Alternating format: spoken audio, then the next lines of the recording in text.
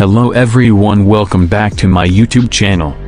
The 2024 CF Moto has an exciting new addition to its lineup that it unveiled at this year's Esposizione Internazionale Ciclo Motociclo e Accessori, EICMA, the new 450 mount.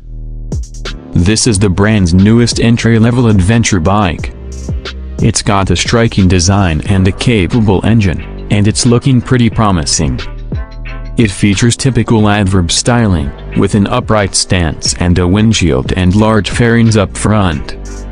It still has CF Moto's signature V-Aero-like DRL, only here it's fitted in the middle of the split-type headlamp.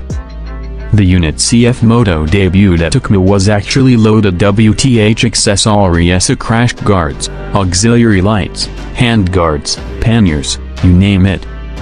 Frankly, it looks beefy and it looks pretty good.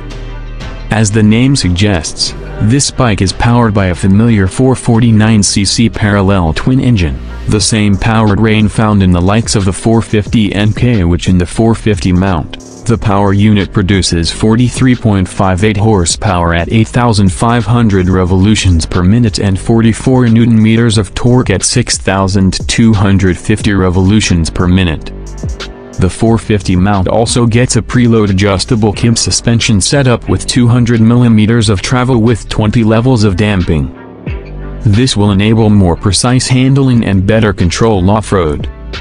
It sits on 21 and 18-inch front and rear wheel shod in 90-90-21 and 140-70-18 tires, respectively. Ground clearance is at 220mm, seat height is at 820mm, and overall weight is at 175 kilograms. The bike also gets a few amenities like the Bosch dual-channel ABS, switchable for the rear via a dedicated handlebar button, and a Bosch traction control system that can be deactivated via the 5-inch TFT display. Said display also gets Bluetooth connectivity. Your thoughts on CF Moto's new adverb, readers? Would you like to see this land in our market?